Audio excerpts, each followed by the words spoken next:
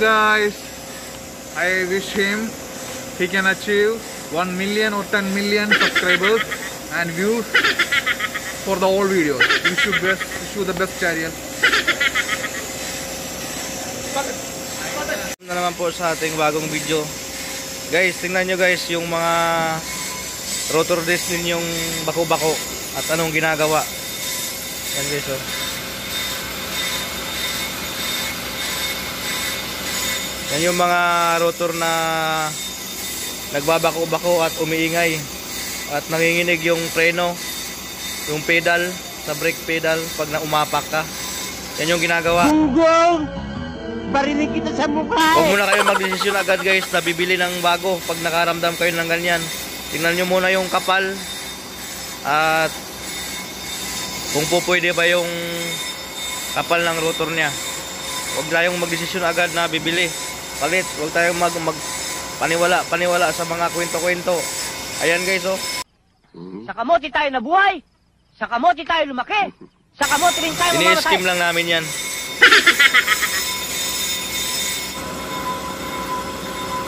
Ayan guys, nakikita nyo guys, baku-baku yan guys oh. Ayan oh.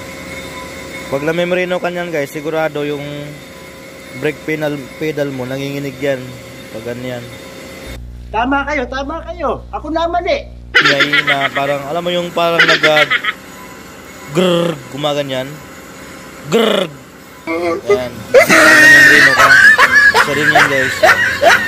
Kaya nagpa-vibration yung pedal mo, yan. Ulit-ulitin ko pa ba? Kaya makikita nyo guys, ang kapal pa niya guys, oh yan, maka, makapal pa masyado.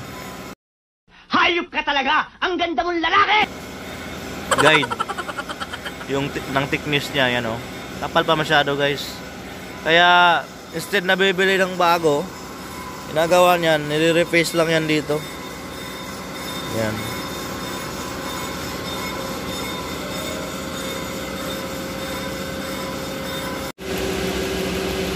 So, ayan guys. Nakikita nyo guys. Mukhang bago na siya guys. Yan. Sinasaludoan kita. Hey! Ayan guys. So yung rotor yung bako-bako, nagiging ganyan yung itsura niya. Uh, will you please repeat it? So parang bago na rin siya, di ba? Worth it guys, di ba? Ewan ko lang kaya kung magkano nang ngayon sa Pilipinas yung labor ng pagkaganito. Dahil dati nung nandun ako, nasa mga 850 yata something ang pagpa-skimming ng rotor disc. Ayan siya guys, oh. So, para updated kayo sa aming video, huwag niyo kalimutan mag like and share, subscribe at marami pa kaming i-upload about sa mga ah, sasakyan, ah, mga sira at paano gagawin. So, marami pong salamat sa inyong panonood. Hanggang sa muli.